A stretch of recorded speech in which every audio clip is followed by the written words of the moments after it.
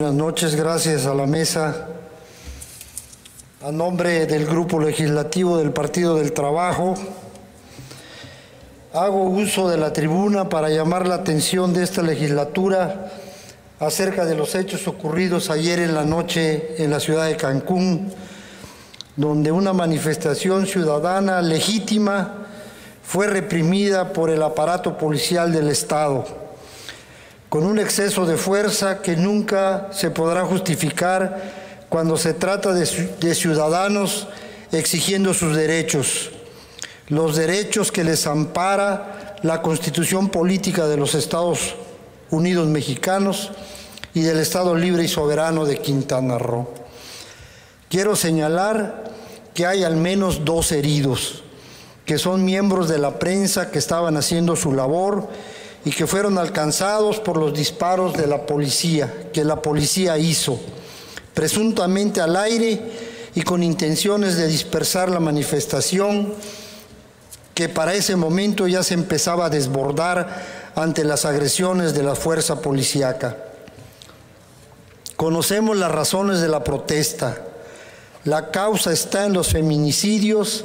que han enlutado familias en Cancún y que han vulnerado severamente a la sociedad de todo el Estado, que ocurren uno tras otro, alcanzan números imposibles de ignorar y ponen a las familias en el trance de una justicia lenta, desdeñosa, que no se mueve ni parece reaccionar al ritmo que la sociedad necesita para sentirse tranquila. No es posible que las quintanarruenses no puedan circular con la tranquilidad por nuestras ciudades y poblados. No es posible que las víctimas sean señaladas como culpables de su propia muerte. No es posible que se sigan justificando tantas muertes de mujeres, madres, hijas, hermanas, amigas, vecinas, con el argumento de que todo es culpa de la delincuencia organizada o desorganizada porque en realidad lo que se está haciendo es victimizar aún más a esas mujeres que han muerto por la incapacidad del Estado para brindarles la seguridad que necesitan y que necesitamos todos y todas. Como anticipé desde esta tribuna, el hartazgo y la poca efectividad de la aplicación de justicia y de seguridad pública hoy rebasa al gobierno de Carlos Joaquín y la sociedad reclama justicia. No es posible que esta legislatura permanezca al margen de lo ocurrido ayer. No hay ninguna manera de soslayar estos lamentables sucesos tenemos la obligación moral, política y social de exigir una investigación real, profunda, que brinde resultados certeros, que demuestre sin posibilidad de duda que los culpables de la represión han sido encontrados y serán castigados, sin obviar su derecho a un juicio justo y que demuestre también que se están investigando los feminicidios con la seriedad que es necesaria y urgente. Tenemos la obligación, diputados y diputadas, de levantar la voz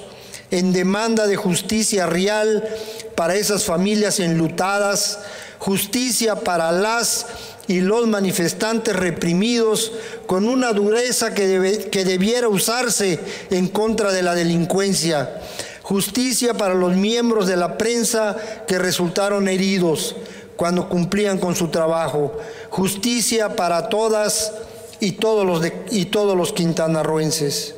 Hoy no se trata de si es una protesta, si, si es una protesta correcta o no.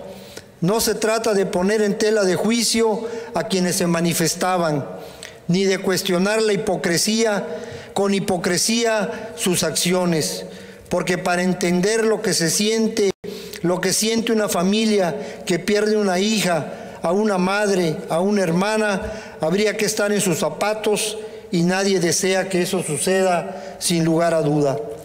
Se trata de usar las facultades de esta legislatura para urgir soluciones, para emplazar a una fiscalía que no cubre las necesidades ciudadanas y que además está severamente cuestionada desde adentro. Se trata de exigir explicaciones a una Secretaría de Seguridad Pública que sistemáticamente se niega a darlas. Se trata de formar filas con la gente, con la sociedad, a la que decimos representar y demostrar que de verdad somos sus representantes. Hoy, compañeros y compañeras, se trata de levantar la voz, de ser la voz de la gente, de ser la voz de la gente nada más,